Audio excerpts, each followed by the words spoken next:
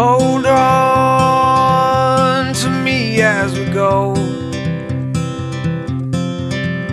As we roll down this unfamiliar road.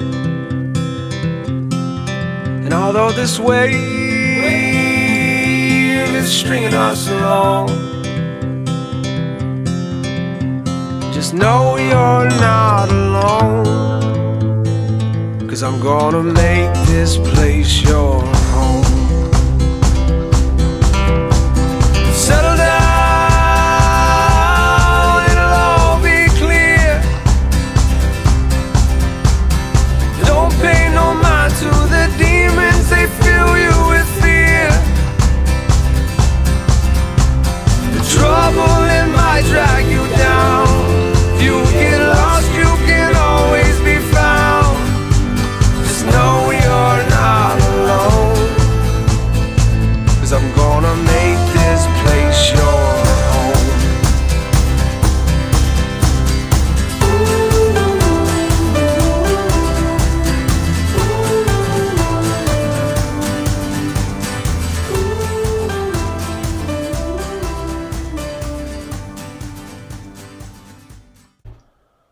Davenport Hotel opened in 1914.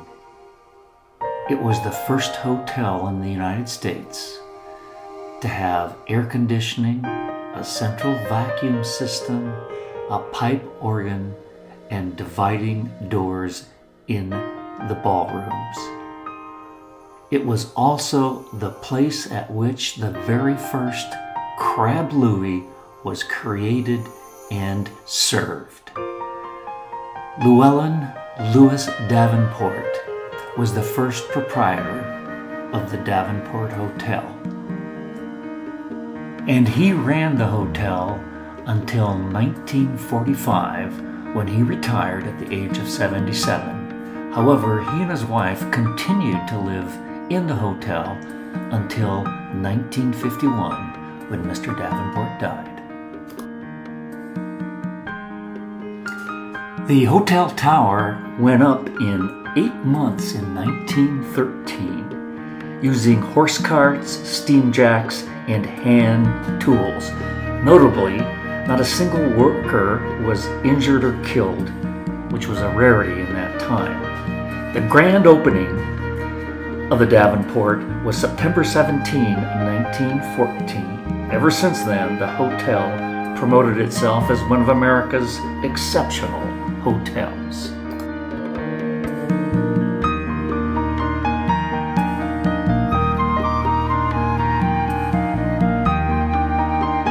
The Davenport Hotel was home to the first commercially licensed radio station in Spokane, KHQ, which signed on the air in 1922.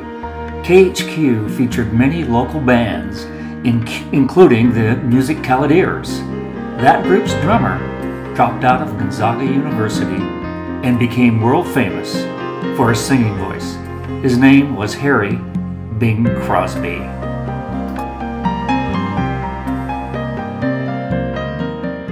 The Davenport hosted an amazing number of celebrity visitors.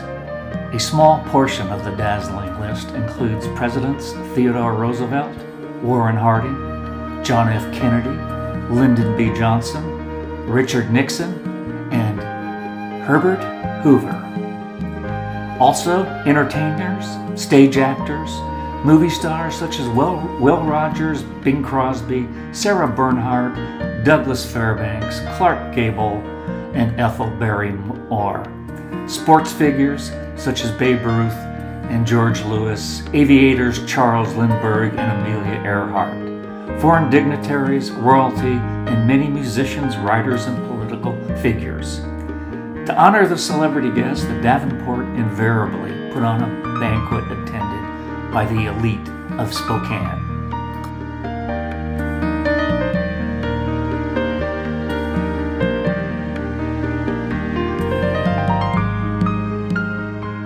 In its heyday, the Davenport was essentially a railroad serviced hotel, and as long as most travelers arrived by train, the hotel thrived. As the automobile became the preferred mode of travel and motels proliferated, occupancy of the Davenport declined. Over the years, attempts to provide parking were only partially successful. The war years, with their shortages of labor and supplies, were hard on the hotel. Even the lobby skylight was blacked out as a civil defense measure.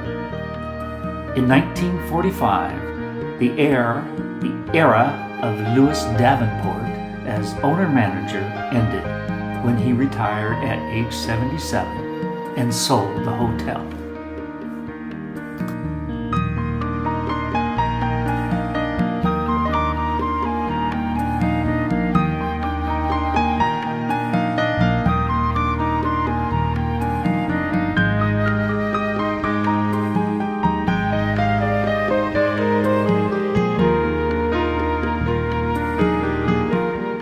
Under successive owners during the 1950s and 1960s, service declined in the rather brutal renovations of the doo-wop era and attempts to make the Davenport into a motel further diminished the appeal of this once distinguished hotel.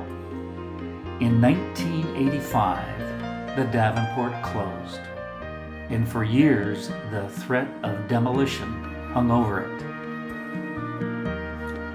A group called Friends of the Davenport formed in 1986 by a city council woman and future mayor, Sheri Barnard, who worked doggedly to prevent the Davenport's destruction until a new owner could be found to restore it.